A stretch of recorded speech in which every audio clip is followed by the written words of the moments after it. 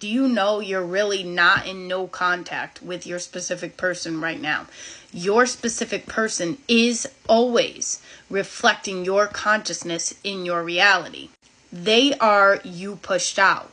So, whatever you are dominantly assuming when it comes to yourself, when it comes to love, when it comes to your specific person in relation to you, they are picking up on it. So, what are you dominantly thinking? Are you identifying as that version of yourself that's never chosen, that's not a priority, that's not important, that your specific person wants nothing to do with you, that they are happier without you, that of course they're going to choose somebody else over you, that you are always the second option?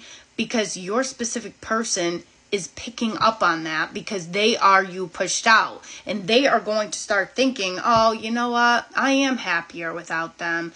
I am happier with this other person. And they are going to show you what is going on within you. They are your mirror.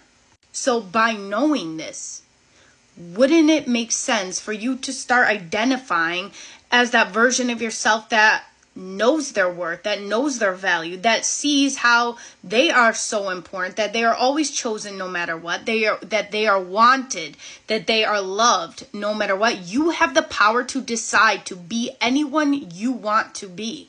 And you show up as this person no matter what.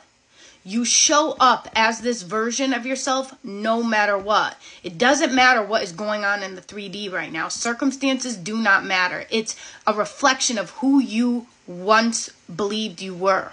That is not who you are anymore. You are the one that always gets what you want, that is always chosen no matter what, that is always in consistent communication with their specific person. Their specific person is head over heels in love with you because you are incredible. You are the prize. They see how amazing you are. You are magnetic to everyone in your reality when you start seeing yourself this way and you change the internal story going on within you, everybody is going to start picking up on that and reflecting back to you how you now view yourself, how you are now identifying as. Change you, and your entire reality will change.